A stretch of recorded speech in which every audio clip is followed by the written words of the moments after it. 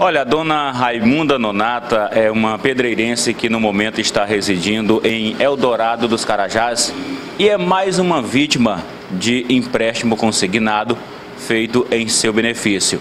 Esses casos são mais rotineiros do que você imagina. E ela foi retirar o seu benefício e descobriu que no seu aposento consta um empréstimo feito e ela garante que não fez esse empréstimo. Foi isso, dona Raimunda? Como foi a sua história?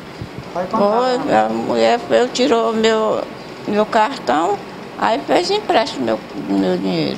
É, furtaram seu cartão. Foi, furtaram o cartão. Trocaram o cartão dela. Uhum. Como foi que a senhora descobriu que esse cartão tinha sido furtado? Com um mês que ela tinha, eu fui tirar meu dinheiro, aí ela levou meu, não levou o dinheiro, mas tirou, levou meu cartão, né? Deixou o dela velho, que não prestava dela, e levou o meu. Ah, então foi na hora do, do, do saque. A senhora pediu para alguém sacar o seu dinheiro, foi isso? Foi que o menino que andava mais eu ia sacar o dinheiro, ele saiu assim e a mulher pediu e eu tirou, né?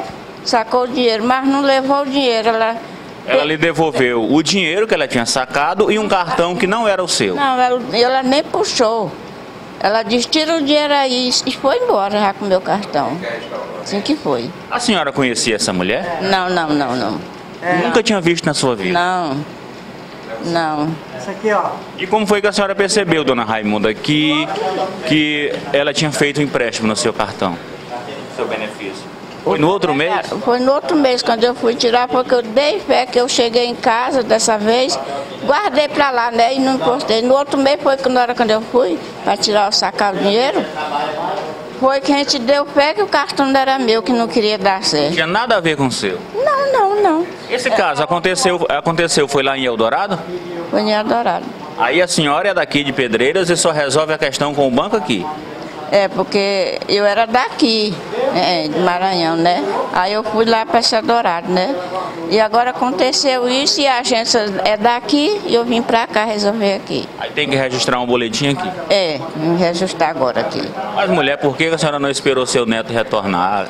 Foi confiar nessa pessoa que nem conhecia.